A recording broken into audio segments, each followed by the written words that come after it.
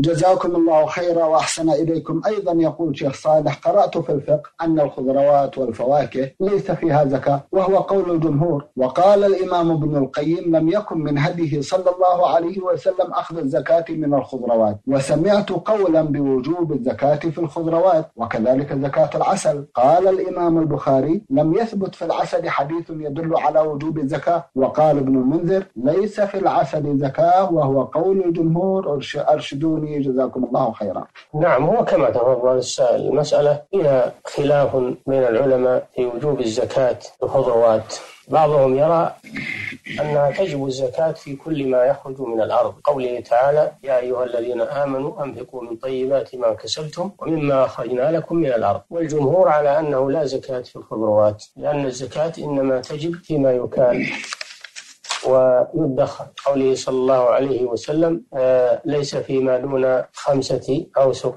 صدقة والوسق ستون صاعا بصاع النبي صلى الله عليه وسلم. اعتبر الزكاة فيما يكال وكذلك العسل الخلاف فيه مشهور بين أهل العلم منهم من يرى وجوب الزكاة فيه لأن عمر بن الخطاب رضي الله تعالى عنه كان يأخذ الزكاة من العسل ومن العلماء من يرى أنه لا زكاة فيه كما ذكر السائل المسألة خلافية. وإذا احتاط الإنسان وأخرج عن العسل زكاة فهو أبرأ لذمته. نعم.